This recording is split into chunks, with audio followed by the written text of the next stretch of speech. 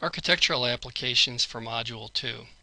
We're going to create this drawing of a floor plan and so I'm on my Module 2 from OctanCAD and if we scroll down here we'll see this drawing. We click on it you can see the drawing and we can print that out. To get started we'll need a title block so we'll click on this title block icon. We'll say open and that will open up my architectural title block in AutoCAD. I'm going to select the model tab and I'm going to also make sure that I've enabled my menu bar across the top. I'm going to leave it set for show menu bar so I won't need to click on that and I'm also going to see that I have my my settings down here at the bottom set to be polar, OSNAP, and dynamic. I'll start the drawing on the wall layer by selecting the line command, clicking on the screen and tracking north and typing in 16 feet. Feet mark would be the apostrophe. I'll track to the right and I'll type in 18 feet. I'll track down and I'll type in 16 feet. Bring it back to the point of origin. Hit escape. The walls are 6 inches thick, so I'll use the offset command. I'll select offset. I'll hit the down arrow. It's set for through. I'll type in 6. Let me try that again. I'll select offset. I'll type in 6. Enter. I'll select the line to offset and the side. And it's a modal command, so it will stay in the offset command at 6 inches until I hit the escape key. So I'll hit the escape key once those lines have been created. And then I can either use trim or fillet with a radius of 0 to corner these walls. And so I'll use trim. I'll hit enter to make everything a cutting line and then I'll carefully select these lines right here to be trimmed. You can increase the magnification by turning the wheel on the mouse. You can push the wheel on the mouse to pan. Next thing that I'll do is I will set the door opening. And so the door opening is 6 inches from this top right hand corner, so I'll offset 6. When you do offsetting in inches, you don't need to do the inch mark. And so I could just type 6, or if you prefer to use the inch mark, you can hit the inch mark on your keyboard, hit enter, select the line, and then the side. Now in order to trim this I'm going to need to extend it a little bit so what I'll do is I'll click on it I'll grab this grip now pull it till it hits the other line then I'll hit escape twice and then I'll use trim hit enter to make everything a cutting line and I'll trim this line. I didn't trim these other two lines yet because if I trim them then I'll have to draw in more geometry. So what I'm going to do is I'm going to offset 3 feet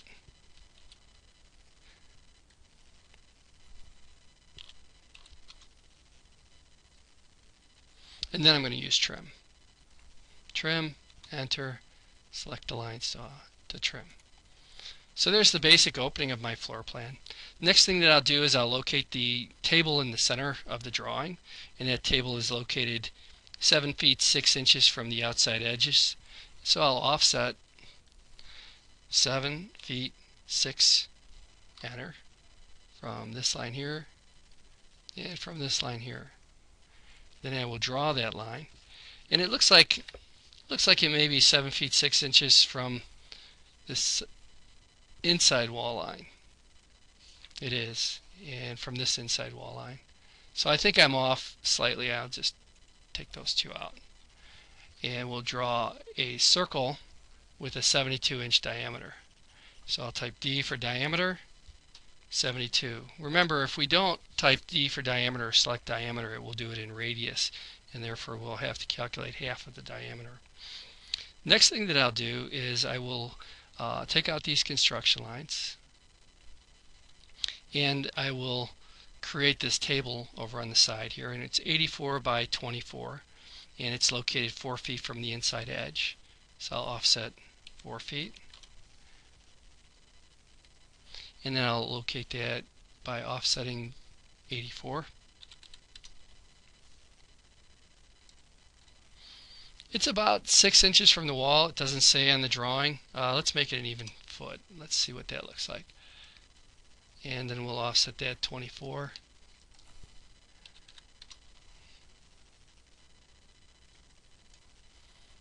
The um, edges are beveled with a 2 inch chamfer. So we'll select chamfer. I'll set the distance at 2 inches and 2 inches. And then I will select these two edges. Right mouse click repeat. Right mouse click repeat. Right mouse click repeat. Next thing I'll do is to put the um, the chairs on and to do that um, I'm going to switch over to the furniture layer and I actually should have drawn these other two objects on the furniture layer to put other objects onto the furniture layer, what I can do, just going to hit escape here, is, is select it by clicking on it with a grip and then selecting the layer that I want it on. So I want it on the furniture layer and you'll see it turns blue. I'll select these geometries and then I'll also select the layer furniture. I'm going to insert the chairs by using something called Design Center. And so if I select the Insert tab and then I go to Design Center, I'll get this bar here. And what I'm going to do is I'm going to look for some chairs. Um, let's take a look in the house designer under blocks. And not, not too much there. Let's try the home space planner. And let's look at blocks. And here we have a desk chair. And so what I'll do is I'll click on that desk chair and I'll drag it into the drawing. And then I'll close this and now you can see I've got a desk chair and what I can do is I can click on that desk chair put a grip on it and I can just kind of put it there by eye at the head of the table next thing that I'm going to do once I have that chair located on the drawing is I'm going to put it on the furniture layer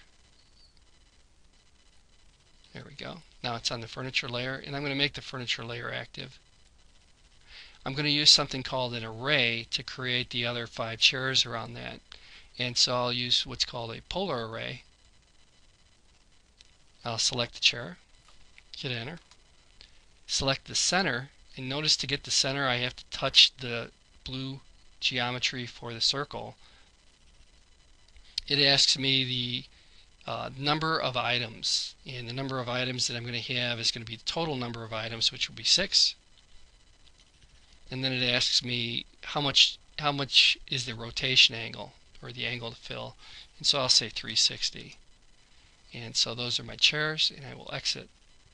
Next thing that I'll do is to start dimensioning the drawing. And so I'll switch over to the dimension layer. And I'll go to my annotate tab and I'll start placing some of these dimensions. I can place a dimension by selecting the dimension for linear and then selecting this endpoint and this endpoint here and I'll put out that four foot dimension. Then I can come back here to my linear dimension and I can dimension from the endpoint to the endpoint. And you want to carefully select the endpoints for the for the table so that uh, you have a, a little bit of a gap. You'll notice if you do it right it is possible to select the endpoints of the leader and you want to avoid doing that. And so we'll also put in an overall dimension of 16 feet from outside wall to outside wall. We can put a center mark on this drawing.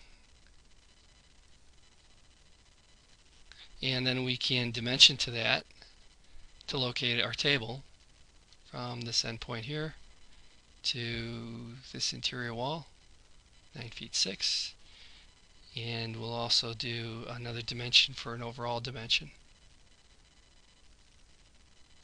Like I said, you want to be selective. You want to make sure that you get the endpoints, so you may have to zoom in a little bit. Get that at 18 feet.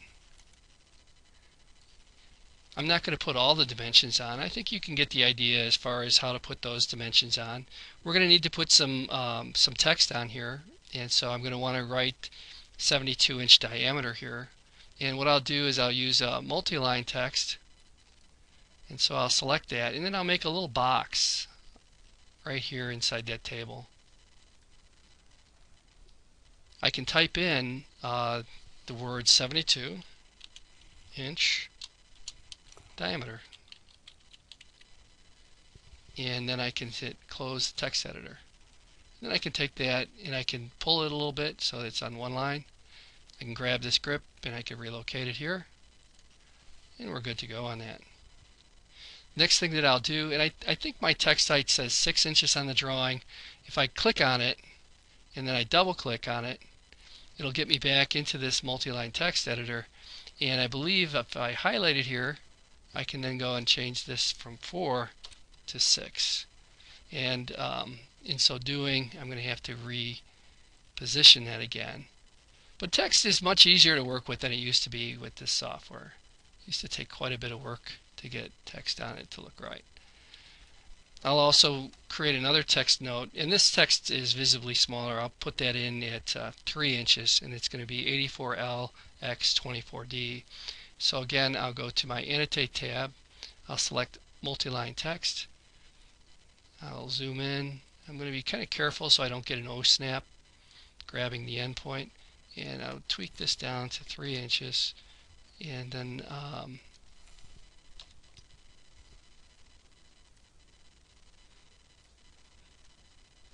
I will type in 84L space X space 24D and I'll highlight that. And then I'll set that to be center justification. Left center.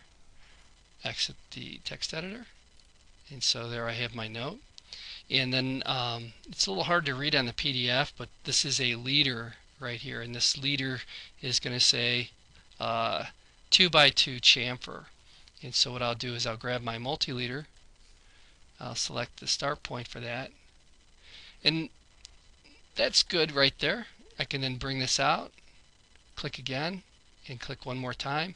And it'll jump into the text editor, which I'll say 2 space x 2 space chamfer. And I'll close text editor. There's a couple more dimensions that I can place on here. If I go to my dimension tab, I can place this dimension here across the bottom. I can locate the table.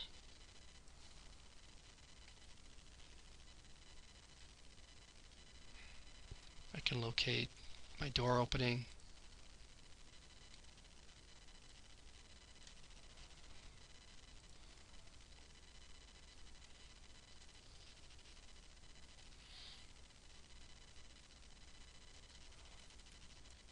Once we have our drawing dimensioned, we're going to go and, and place it onto the title block. I'll select the floor plan tab and then I will double click in the viewport.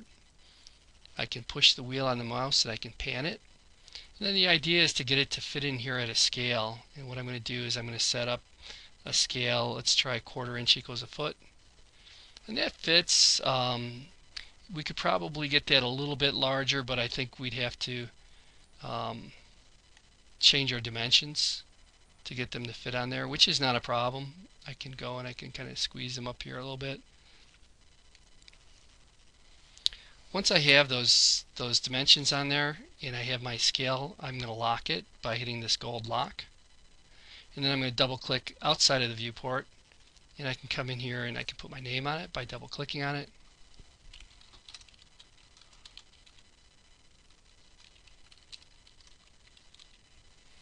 And this is CAD 116 and I could save the drawing. So I'll say file save as and we'll save this to I'll save it to my desktop as exercise. Use your initials. 2-2 so that's it for the architectural application save that drawing and drop it into the Dropbox.